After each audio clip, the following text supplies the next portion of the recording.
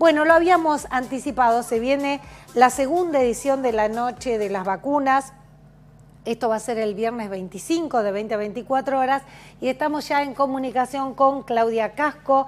Ella es referente de la Oficina de Acceso y Derecho a la Salud de la región sanitaria octava filial Tandil. Claudia, bienvenida informadísima. Cecilia te saluda. ¿Cómo estás? ¿Qué tal, Cecilia? Buenas tardes. Muy bien. Gracias por la invitación. No, por favor. Bueno, esto que, em, a ver, un poco emulando a muchas noches de diferentes cosas que se hacen, la noche de los museos, la noche de la pizza, esta iniciativa para seguir este, incentivando a la gente a que se vacune. Contanos más de esto. Bueno, como sabés, la noche de la vacuna arrancó el 4 de febrero en toda la provincia de Buenos Aires, se pusieron 100 postas, en realidad lo que se quería era mm, incentivar la vacunación, sobre todo en los lugares de recreo y vacaciones, ¿no? Para que la gente completara esquemas de vacunación o arrancara nuevos esquemas. Entonces, bueno, esa era la intención en definitiva. Claro. ¿Cómo resultó la primera edición? No, la primera edición fue un éxito rotundo, en realidad. En todos los lugares se trabajó, incluide pasado a las 24 horas, había cola de personas queriendo darse las vacunas. Qué bueno, qué bueno. Así que se redita, en este caso, contanos eh, dónde se va a desarrollar esta vacunación masiva. Otra vez en Tandil la vamos a estar haciendo en el CCU, Irigoyen 662, que es el lugar donde se hizo la vez anterior y que el lugar fue muy positivo porque, bueno, nada, la gente nos planteaba lo siguiente, que como era un horario fuera del horario laboral y que también ya habían podido hacer los mandados y demás, le quedaba cómodo y sobre todo también porque era viernes, ¿no? Claro. Estaban como más descontracturados Así que bueno, lo vamos a repetir y hacerlo en el mismo espacio. Bien, ¿a quiénes está dirigido este Claudia? A todas las personas, obviamente todos todas las personas mayores de tres años, vamos a estar vacunando a niños, a jóvenes hasta el esquema de 18 años y como se saben, a partir de hoy la vacunación es libre para primera dosis, segunda dosis, eh, refuerzo y tercer dosis para mayores de 18. O sea que cualquier persona que no inició su esquema lo puede iniciar a partir de hoy o lo estamos esperando el viernes a la noche en el CCU. Claro. O los que tienen la segunda dosis y necesitan o refuerzo o tercer dosis y cumplan el intervalo de cuatro meses, pueden estar vacunándose. Bien, es importante este dato que nos acabas de dar. Cuatro meses. Sí.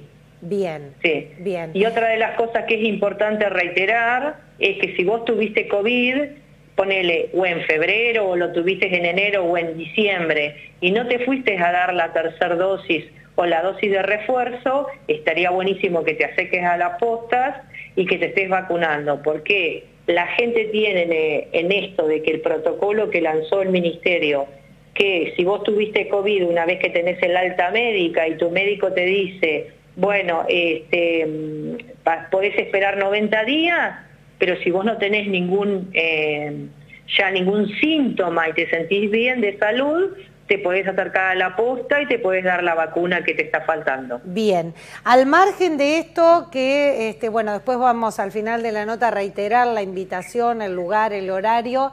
Eh, ya no está más el polivalente como este lugar de centro vacunatorio. ¿Qué quedó al día de hoy para ir a vacunarse? al día de hoy están las dos postas abiertas de las ocho y media de la mañana a las 19 horas.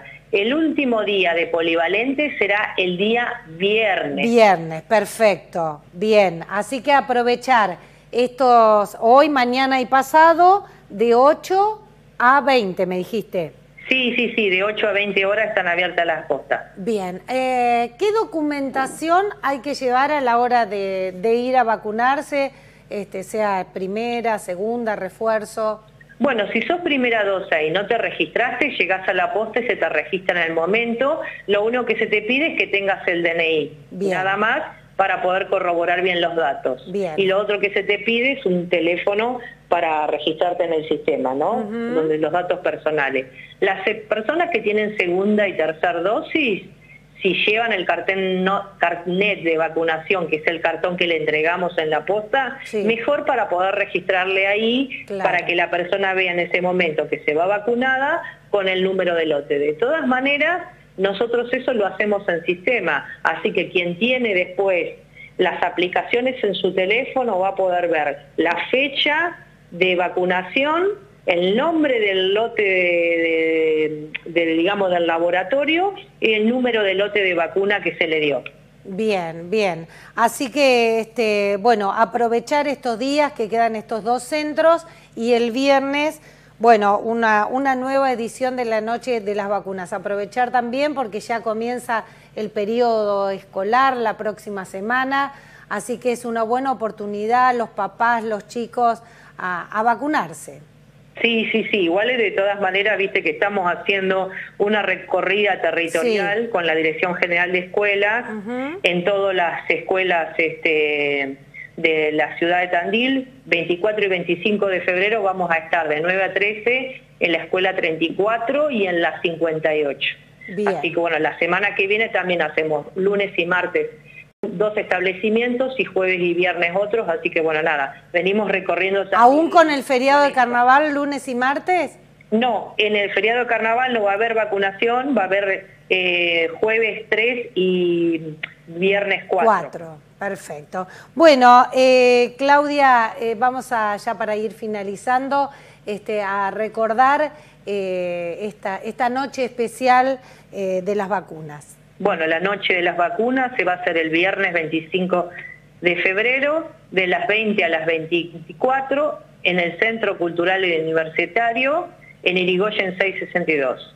Muy bien, muchísimas gracias Claudia, que tengas una linda jornada. Igualmente Cecilia, un abrazo para todos. Gracias. Claudia Casco, ella es referente de la Oficina de Acceso y Derecho a la Salud de la región sanitaria octava filial Tandil, aprovechen, ¿eh? aprovechen a, vacunarse quienes no les falte alguna dosis de refuerzo o la tercera, este, ahí están todos los días y horarios.